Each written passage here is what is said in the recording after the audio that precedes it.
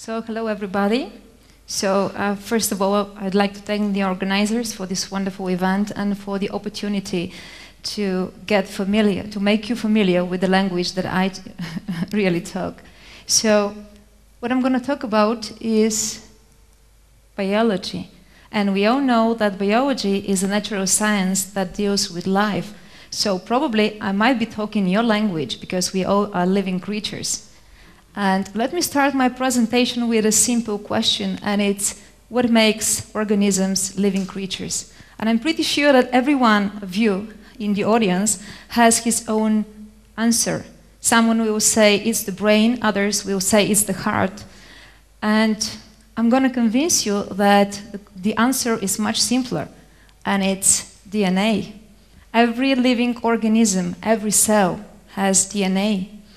Bacteria have DNA, yeast have DNA, so do any plants and humans.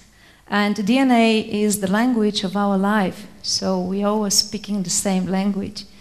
And undoubtedly, knowing the structure of this important molecule, this is the most important molecule in nature, is of high priority for all scientists. So um, there's no surprise that when the structure of DNA has been discovered about 60 years ago, scientists that have discovered the structure have received a Nobel Prize. What's important about this molecule is that it has one and the same structure, chemical composition in almost all cells, in almost all organisms. It's quite a perfect and very refined molecule. It has four letters and they are C, A, T, G, and they are arranged all along the DNA strand uniquely for every one of us. And knowing the exact order of all these four letters all along the human DNA is what is called sequencing of the genome, knowing all this ordering of the four letters. And just have in mind that human DNA has three billions of these letters. So it's quite a huge task. And at the beginning, okay, of the new millennium, the first draft of the Human Genome Project has been announced. And it was about 50 years after the discovery of the structure of DNA. It was a huge project billion dollar project that united the efforts of more than 2.5 thousand scientists located in more than 20 laboratories in six different countries. So it's, it's a huge and tremendous project, and he was completed just at the celebration of the 50 years after the, of the discovery of the structure of DNA. And this celebration was crowned by this major scientific event. So now we know that we have another four letters all along the DNA code. And scientists run for sequencing of other genomes just to follow the evolutionary trait of different organisms. So the genome of the monkeys have been sequenced, of the honeybees as well, of the dogs and the chickens, even of the chimpanzees. And when the genome of the chimpanzees have been compared to our genome, guess what?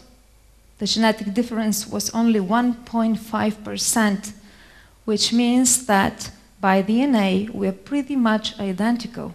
But by look, by appearance, by the things we do, we are different. I think so, at least in some cases. so, so what, what tells identical, almost similar genomes to express differently? How DNA knows which genes to switch on and which to switch off, and how these little differences are expressed so vastly in different organisms. What makes us different is the main question that scientists started asking themselves after the sequencing of the human genome.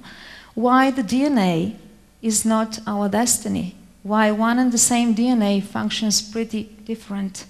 And I think that we're about to answer some of these questions, and it's about to start a fourth revolution.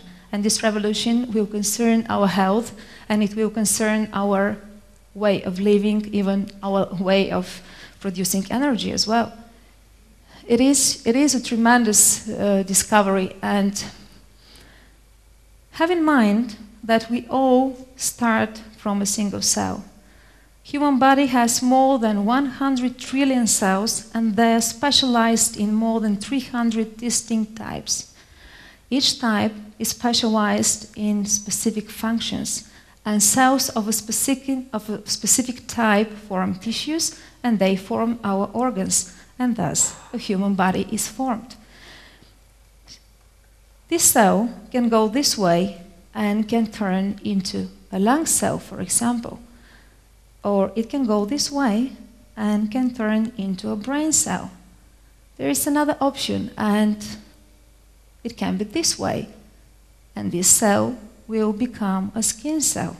Have in mind that all these cells are specialized in quite different functions in our body, but they do have the same DNA, which means that their genome is the same. They have identical genomes. Obviously, there's something in these cells that tells which genes to be switched on and which genes to be switched off. And the main question is, what is this? Let's imagine that we are computers. Logically, DNA is our hardware. In order to function well, this hardware needs proper software programs in order to drive the hardware. The main question is, which of these software programs for our body, which are the software programs for each of these different cell types that tell them which genes to work and which not. The answer is the epigenetics. And what does epigenetics mean?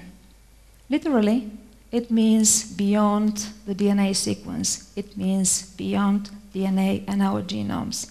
It provides information which is not coded in our genes, is something outside that regulates and that controls our genome. And practically, sorry, practically it tells identical genomes to express differently. Have identical twins, as an example. They do look alike and they genetically are identical. But with the time, with the age, they start differing, differing epigenetically, which means that they are susceptible to different diseases and in some cases, they do die by different diseases. DNA in our cells is not naked. It's located in the nucleus and is organized with proteins. And these proteins, together with DNA, are transmitting this epigenetic information, and they do tell which genes to work and which not. So it means that the lives of our grandparents the food they ate, the air they breathed, the actions they did. Did they smoke or didn't? Even the things they saw could affect us decades later. And moreover, we can pass and transmit this information to our descendants and can affect our children, grandchildren, and grand grandchildren. As I told you, epigenetics is something above and beyond the genome. And the genome and the epigenome cannot exist separately. And the bridge between them is the environment. Hey, okay. Is the environment. So, okay, this is stress and it's also influencing my epigenetics. And in our lives, in our lives, during our life, we are under extensive stress. And these uh, environmental stimuli can be our diet, can be the way we live, can be even the people who we interact with. And these environmental stimuli are affecting our genome through the epigenome, which means that the epigenetics is bridging the interaction between the genome and the surrounding environment. And as I told you, there is an epigenetics burst in the recent years, and this is a, a real revolution in the field of bioscience.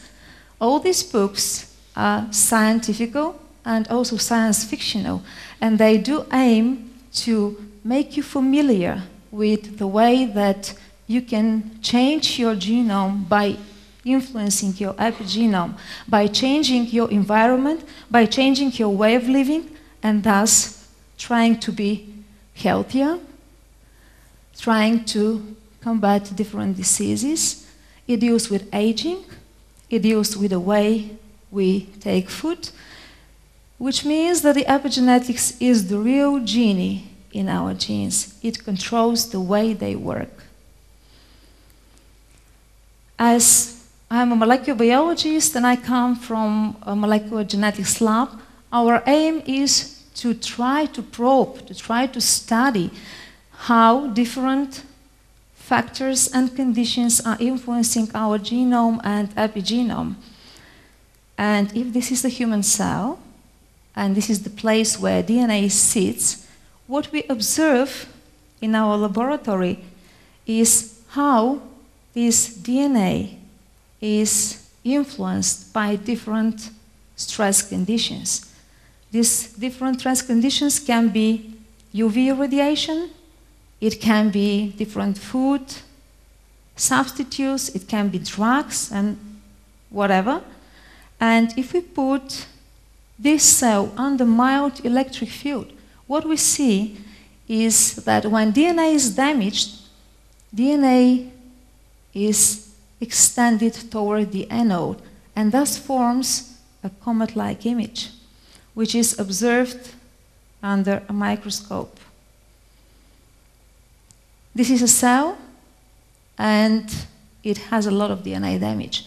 Here is the place where the intact, the healthy DNA is located, and here is the tail. And this tail tells us that there is a lot of DNA damages in this cell.